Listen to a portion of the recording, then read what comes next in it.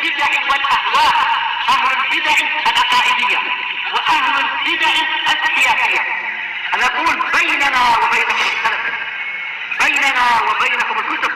كان فيقول البدع بيننا وبينكم بسم الله الرحمن الرحيم. الحمد لله الذي أرسل رسوله بالهدى ودين الحق ليظهره على الدين كله وكفى بالله شهيدا.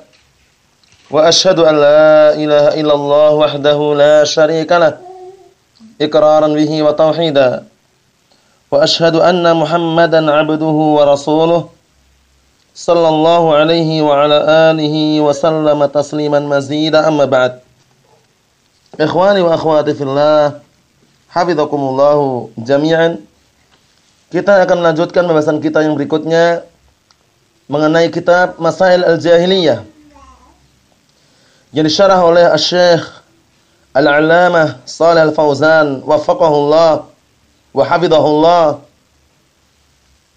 Sekarang kita berada pada permasalahan yang ke-33. Sekarang kita berada pada permasalahan yang ke-33. Permasalahan ini mengenai keadaan mereka orang-orang jahiliyah. Jadi mereka mengingkari perkara yang mereka mengakui bahwasannya itu termasuk agama mereka. Nah, jadi mereka mengakui itu termasuk bagian dari agama, ritual dari agama mereka, tapi mereka sendiri mengingkari gitu. Nah, barakallahu fikum. Jadi, perbuatan mereka tidak sesuai dengan apa yang mereka ikrarkan atau tidak sesuai dengan apa yang mereka akui.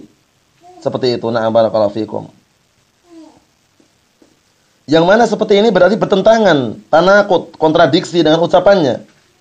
Karena perbuatannya nah barakallahu fikum tidak sesuai dengan ucapan yang dia ucapkan. Kita lihat kita lihat di sini qala al-muallif al-imam al-mujaddid asy-syekh Muhammad bin Abdul Wahhab An-Najdi At-Tamimi rahimahullah taala Al-mas'alatu tsalitsatu wa tsalasun permasalahan yang ke-33 Inkaruhum ma aqarru annahu min dinihim kama fa'alu fi hajjil bait faqala ta'ala wa man yarghabu an millati ibrahim illa man safiya nafsah illa man safiya nafsah Permasalahan yang ke-33 pengingkaran mereka terhadap apa yang mereka mengikrarkan atau mereka mengakui bahwasannya sesuatu tersebut termasuk agama mereka. Jadi mereka mengingkari pengakuan atau ikrarnya mereka bahwasannya sesuatu tersebut termasuk agama mereka, namun justru mereka malah mengingkari tadi. Nah, kama fa'alu sebagaimana yang mereka lakukan fi hajjil bait ketika berhaji. Faqala ta'ala kemudian Allah Ta'ala berfirman, "Wa man yarghabu 'an millati Ibrahim illa man safiya nafsah." Dan tidaklah ada yang benci atau tidaklah orang yang membenci agama Nabi Ibrahim alaihissalam melainkan orang yang membodohi dirinya sendiri. Qala syarih Syekh Shalih Al-Fauzan wafaqahullah Al-Yahudu yad'una annahum ala millati Ibrahim. Orang-orang Yahud mereka mengaku-ngaku bahwasanya mereka berada di atas agamanya Nabi Ibrahim alaihissalam. Walakinnahum lamma huwilat al-qiblatu ila al-Ka'bah allati banaha Ibrahimu ankaru hadha ghayatul inkar wal iyad billah. Perhatikan.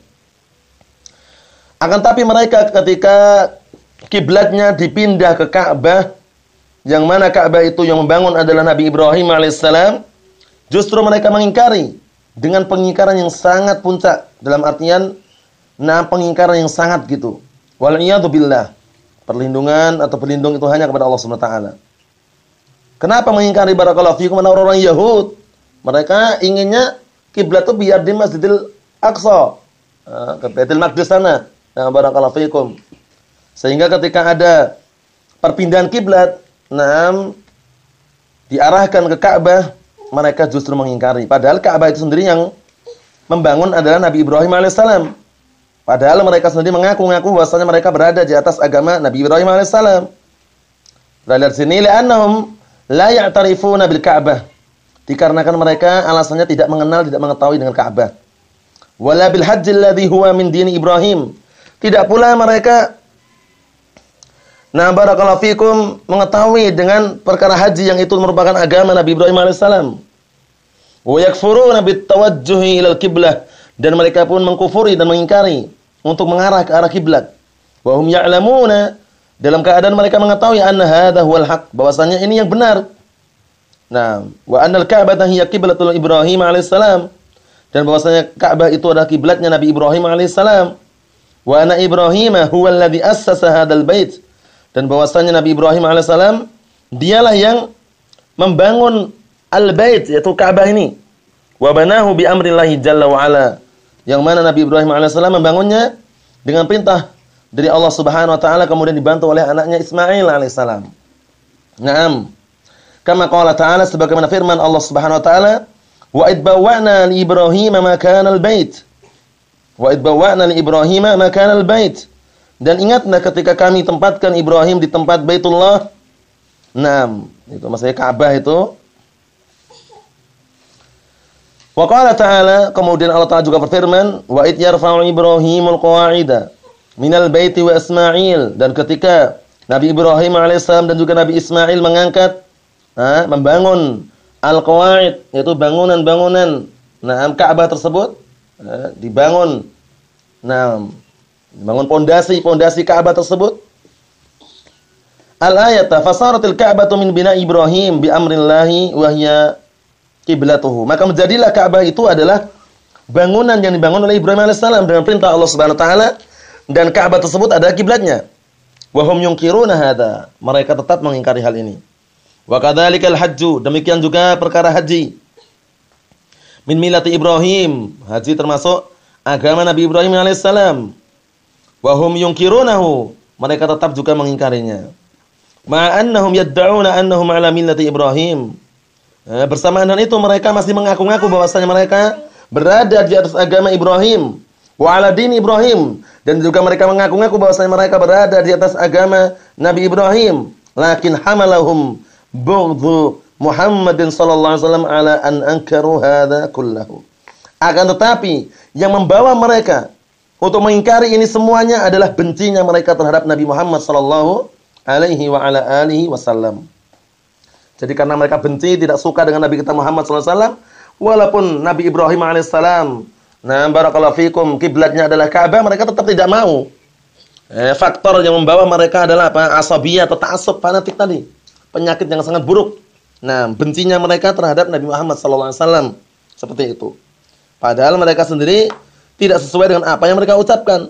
Kalau seandainya mereka itu benar-benar cinta dan juga mengikuti agama Nabi Ibrahim alaihissalam, misalnya ketika dipindahkan kiblatnya mereka juga mau dan tunduk gitu.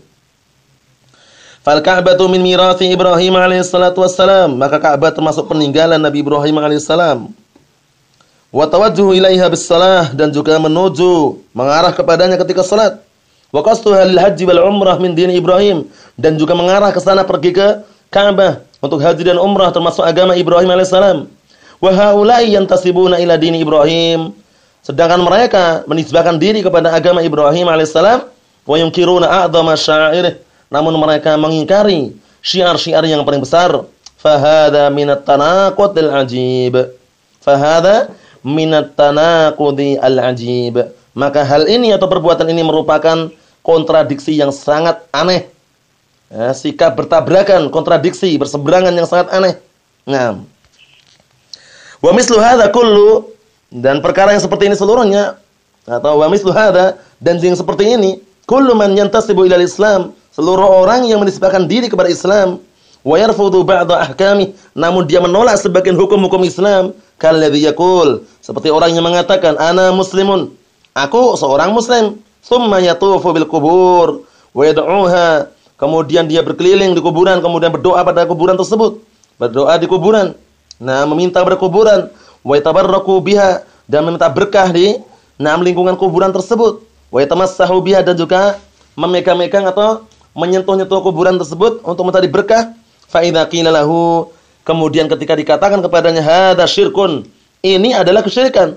Fa la yatahawwalu anhu tetap dia tidak mau berpaling darinya karena sudah menganggap itu perkara ibadah itu loh perkara syirik itu kalau sudah dianggap ibadah berbahaya sekali inilah balasan bagi orang-orang yang apa meninggalkan al-haq meninggalkan kebenaran sebagaimana yang dijelaskan oleh Syekh Shalal Fauzan wafaqahullah pada syarah-syarahnya sebelumnya bagaimana?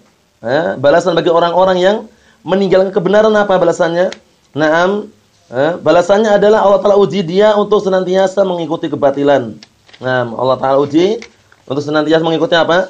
Kebatilan. Itu ancaman bagi orang-orang yang meninggalkan al-haq.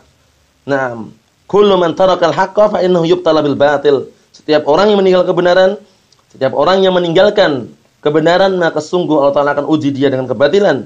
Nah, dan barang siapa yang meninggalkan madhab ahlu sunnah wal jamaah sungguh Allah Taala akan uji orang tersebut untuk mengikuti madhab ahlu bid'ah wad dalal wal billah. Nam, bal yastamirru alaihi bahkan setelah diingatkan ini adalah kesyirikan dia tidak mau berpindah dari kesyirikan tersebut. Bahkan yastamirru alaihi bahkan malah terus-menerus melakukan hal tersebut. Wa yubghidu man anhu bahkan membenci orang yang melarangnya. Yang melarang saja juga dibenci gitu loh. Padahal mengingatkan wa hadza minat tanaqudi bil intisab. Ini termasuk bentuk tanakut bentuk berseberangan atau bentuk kontradiksi bertabrakan dalam masalah penisbahan. Menisbahkan diri kepada Islam tapi dari sisi lain dia malah mengamalkan amalan yang bukan termasuk bagian dari agama Islam. Yantasibu ilal islami wa yukhalifuhu fi a'dham sya'airih wa wat tauhid. Dia menisbahkan kepada Islam, kemudian dia menyelisih perkara yang paling besar, syiar-syiar yang paling besar, yaitu at-tauhid. Allah musta'an. Ini termasuk perkara-perkara jahiliyah yang kita berupaya semaksimal mungkin untuk menjauhinya serta menghindar darinya karena berbahaya sekali barakallahu fikum wa hafizakumullah nam ikhwani wa akhwati fillah karena kesyirikan yang mana itu lawan dari bertauhid menghantarkan pelakunya kepada apa ayat yang sering kita sebutkan menghantarkan menjerumuskan pelakunya kepada neraka jahanam dan diharamkan bagi dia surga dan dia pun tidak memiliki penolong seorang pun innahu man yusyrik billah faqad haramallahu alaihi jannah wa ma'wahu an-nar wa ma min ansar. Sungguhnya barang siapa yang berbuat kesyirikan kepada Allah Subhanahu wa taala, sungguh Allah taala haramkan bagi dia surga. Dan tempat kembalinya adalah api neraka. Dan tidak ada seorang penolong pun bagi orang-orang yang berbuat kesyirikan.